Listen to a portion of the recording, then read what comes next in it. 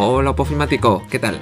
Pues nada, en el vídeo de hoy vamos a explicar la función buscar v, que es una función de búsquedas, al igual que buscar te va a permitir realizar búsquedas en tablas a partir de un dato que ya tengas, ¿vale? En este caso los parámetros serían cuatro. Tenemos por un lado el valor buscado, que es el dato que yo tengo. Imaginad que yo quiero obtener el nombre de un trabajador y tengo su código o su DNI. Pues nada, aquí tendremos que escribir ese código, ¿vale?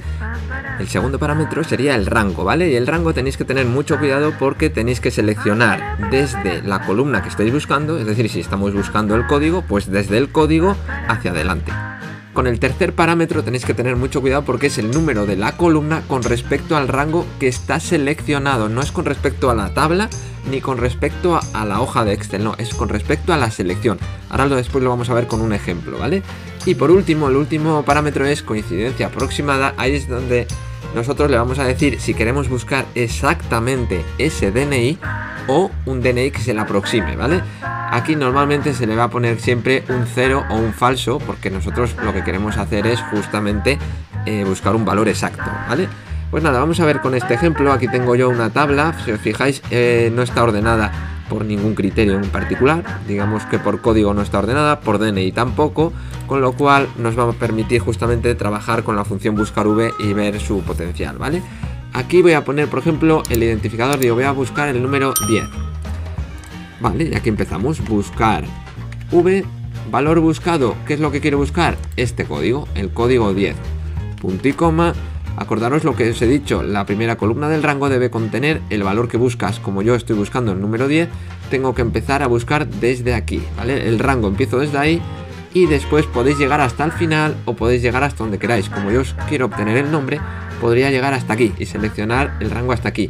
A mí me gusta seleccionar todo el rango, ¿vale? Voy a seleccionarlo todo, ahora os diré por qué punto y coma y ahora después tenemos que decirle el número de la columna, indicador de columna. En este caso yo quiero obtener el nombre, con lo cual esta sería la columna 1 de mi selección, que sería la roja, ¿vale? La 1, la 2, pues le pongo un 2, ahí estaría, punto y coma y aquí le tengo que decir si yo quiero buscar exactamente el, de, el código 10 o quiero buscar un valor que se le aproxime al 10 pues yo lo que quiero es buscar exactamente el 10, con lo cual le tengo que poner coincidencia exacta. ¿Veis que aparece aquí coincidencia exacta?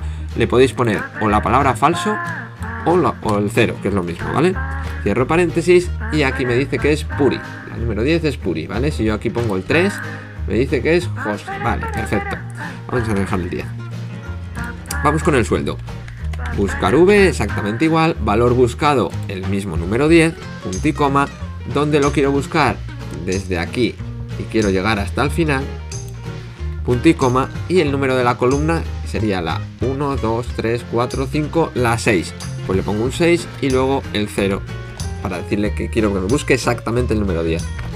Y ya tenemos aquí el sueldo de Puri. Perfecto. ¿Vale? ¿Por qué os decía lo de seleccionar hasta el final? Porque si yo tengo que hacer un montón de búsquedas, lo bueno que tiene es que después puedo copiarme la fórmula de arriba y pegarla aquí abajo y después cambiar el 2 por el 6 y listo. Vale, vamos a ver un ejemplo en el que nos va a fallar el buscar V y ahora, veremos por qué. Vale, imaginad que yo quiero buscar un DNI en concreto. Yo quiero buscar este de aquí, que era el de Puri. Nada, vengo aquí, lo pego aquí y ahora aquí le voy a decir, vale, buscar V, valor buscado, este DNI, punto y coma, rango donde quiero buscarlo, ¿vale? Aquí tenéis que tener cuidado, no podéis hacer esto como antes, ¿vale? Porque la primera columna tiene que tener el DNI, con lo cual la selección va a ser a partir del DNI. Hasta el final, punto y coma, ¿qué columna quiero obtener? Tened cuidado, no es, el sueldo en este caso no es la 6, sino sería la 1, la 2, la 3, la 4. Y después el 0. Cierro paréntesis, le doy al enter y ahí está ya el sueldo de Puri. Hasta ahí perfecto. Y ahora vamos a ver el nombre, que aquí es donde vamos a tener el problemilla. Buscar V, valor buscado, este DNI, punto y coma, ¿dónde lo quiero buscar?